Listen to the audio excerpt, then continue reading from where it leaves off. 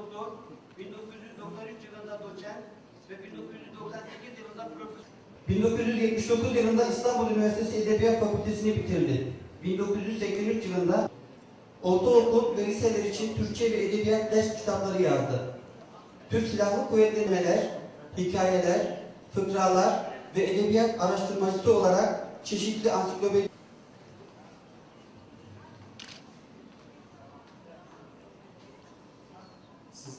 Bizleri buluşturanlara teşekkür ederek ona göre bir kader verir. Bu salonda yapılacak güzel şeylerden hepimiz, hepiniz istifade edersiniz, yapabilmiş oluruz. Böyle bir salonun çok çeşitli amaçları vardır.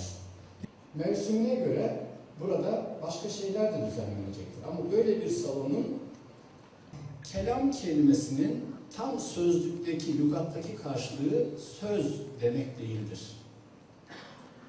İncil, Kur'an'ın hangi ayetle başladığını biliyoruz.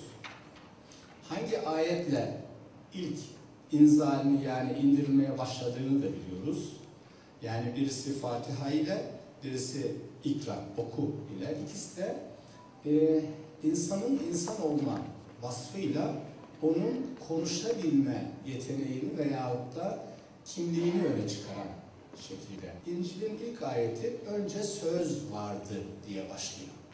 Bunu epigraf olarak pek çok yerde görürsünüz. Önce söz vardı.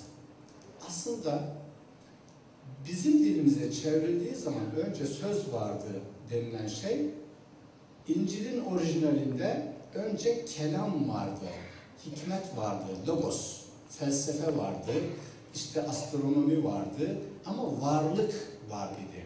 Ama önce söz vardı deyince kelamdan söze kadar küçücük bir yere sıkıştırdı bizi.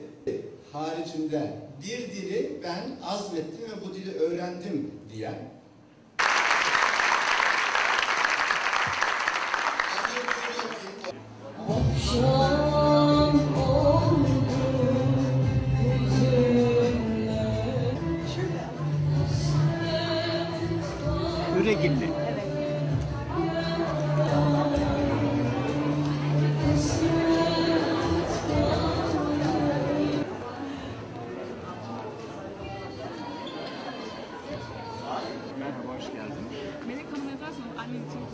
Soyadı ne? Melek Güner. Buna çözüm sadece şunu yapmaktır. Yani okumak. Başka hiçbir çözüm yoktur bunun. Önce anneler babalar okuyacak. Annelerin babaların okuduğunu gören çocuklar okuyacak. Kaç nesilde başlarsanız başlayın. Şimdiki genç anneler babalar okuyarak hayata başlatırlarsa çocukların çocuklar da devamında daha fazla kelimelerle, daha fazla dille, daha fazla düşünceyle tanış olacaklar. Çok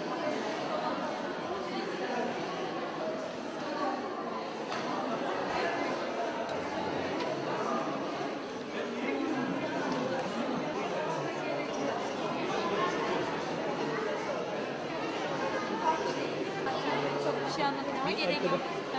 Akrabam olacağım. O da Ne ortaokulda. sever? Ortaokul. Peki siyasetle ilgili biraz bir şey.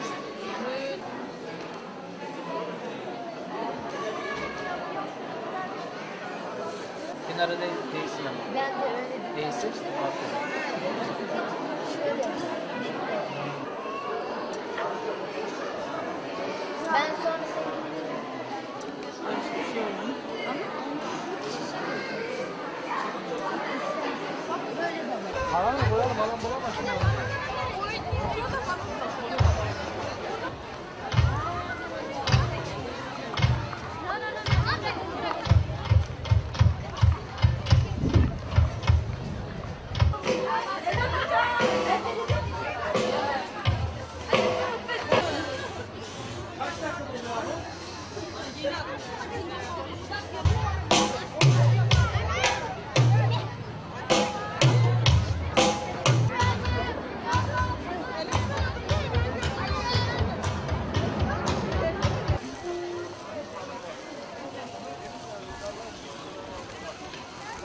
Bilmem. Attırıyor da. Allah. Allah.